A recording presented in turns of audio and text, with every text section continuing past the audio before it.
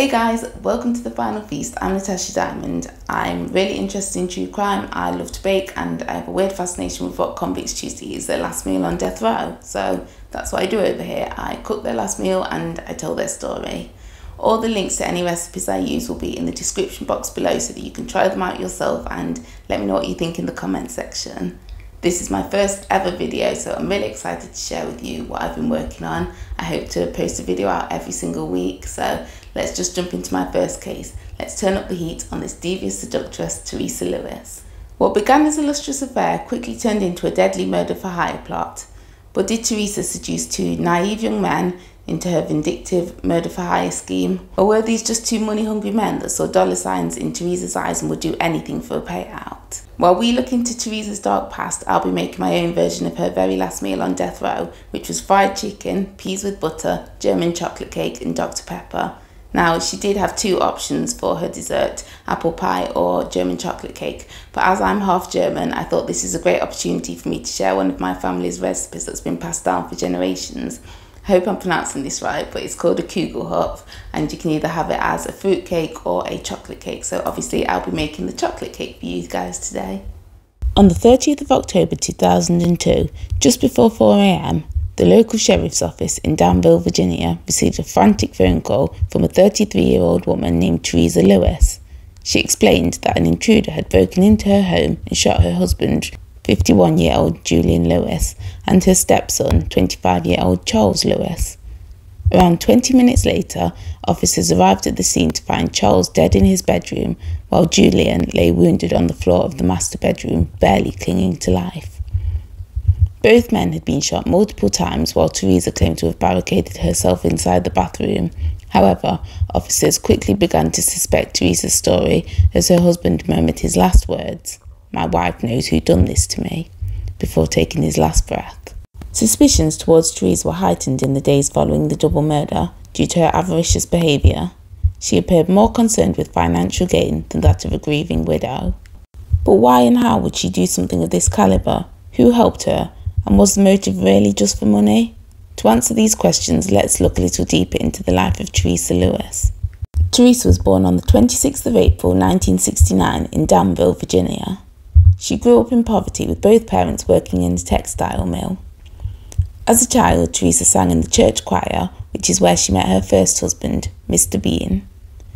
In 1985, when Teresa was only 16, she dropped out of school and ran away to marry Bean.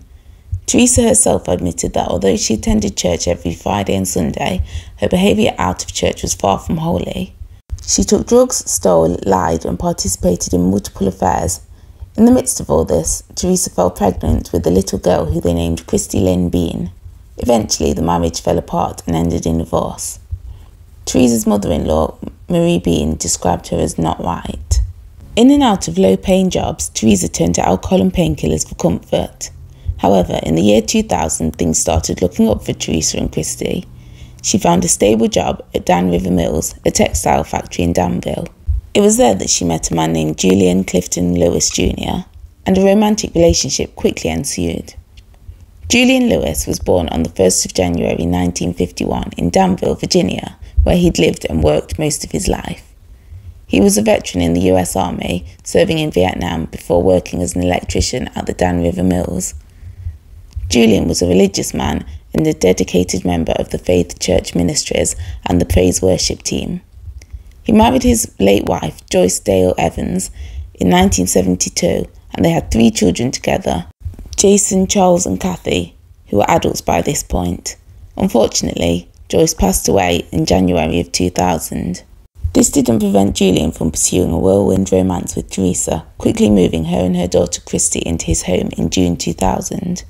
That same year, they got married and Teresa quit her job at the mill. Things appeared to be going well for the newlyweds until December 2001. Julian's oldest son, Jason, died tragically in a car accident at only 27 years old. As Julian was the beneficiary of Jason's life insurance, he received a hefty payout of $200,000, which he used the following year to purchase a mobile home and five acres of land in Pittsylvania, Virginia. Himself, Teresa, and Christy moved in in February 2002. Later that year, Julian's younger son, Charles, who was a US reservist in the military, took out a $250,000 life insurance policy in anticipation of his upcoming deployment to Iraq. He named his dad as primary beneficiary and his stepmom Teresa as secondary beneficiary. Unbeknown to him, this well intended decision would be the reason for his fatal demise. Whilst waiting in line at a Walmart store in Danville, a now 32 year old Teresa met 21 year old Matthew Schellenberger and his trailer mate, 18 year old Rodney Fuller. She exchanged numbers with Matthew, and before long she was back to her old adulterous ways. Within days of meeting the younger man, they began a sexual relationship.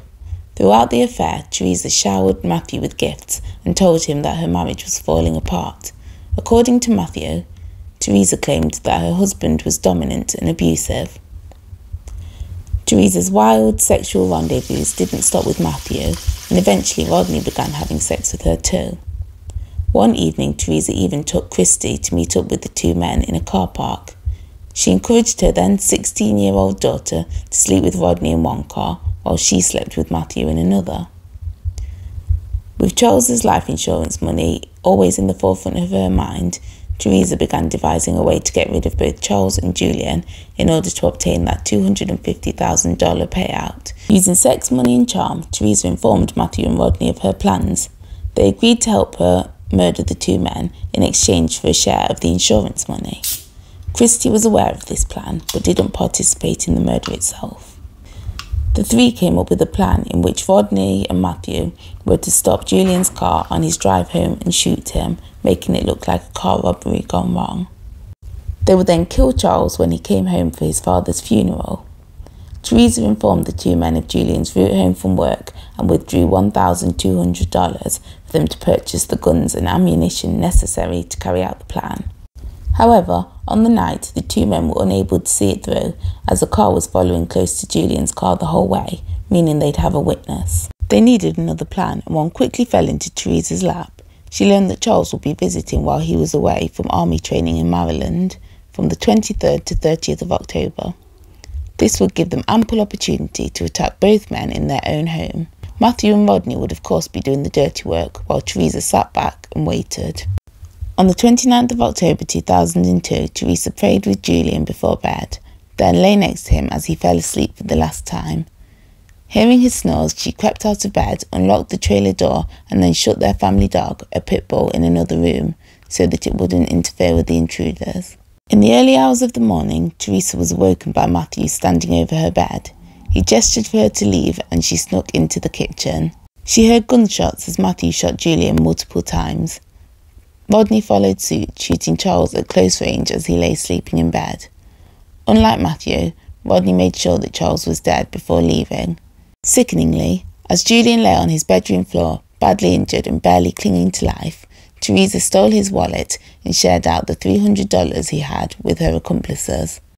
The two men then collected a few gunshot shells from the bedroom and left. Teresa waited a whole 45 minutes before calling for help which the coroner said could have saved Julian's life. When the police arrived, Julian was clinging on to life.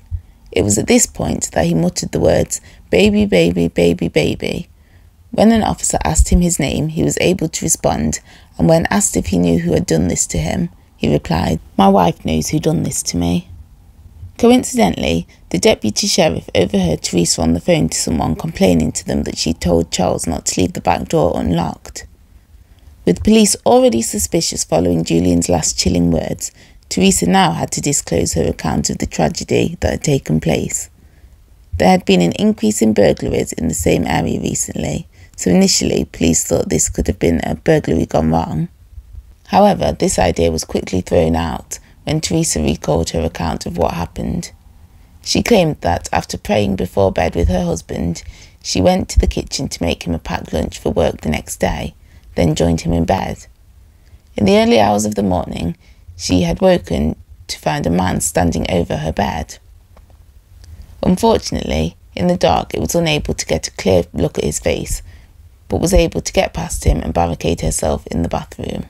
It was there where she heard multiple gunshots but remained in the bathroom for a further 45 minutes.